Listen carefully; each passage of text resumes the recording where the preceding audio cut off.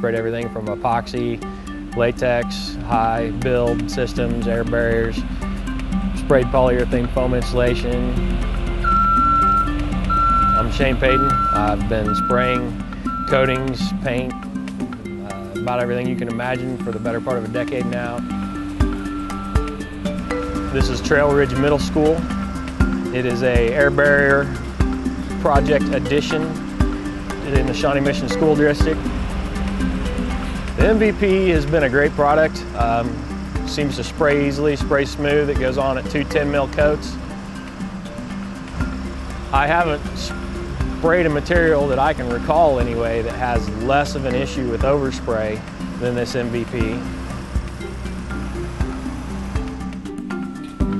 I'm talking about their fast flash system. I think it's probably the best flashing system on the market and if anybody's ever wrapped a window the old way with the tape and then tried fast flash, you'll know exactly what I'm talking about.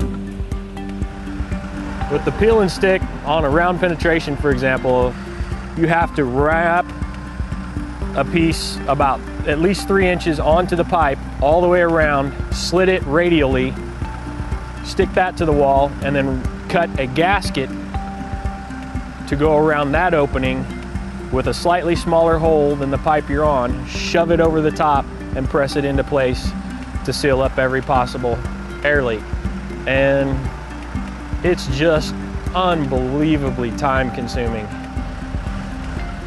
With their fast flash system, I just shoot a bead around the entire thing, take the putty knife, smear it in, and you're moving on probably here again five, ten times faster with the fast flash.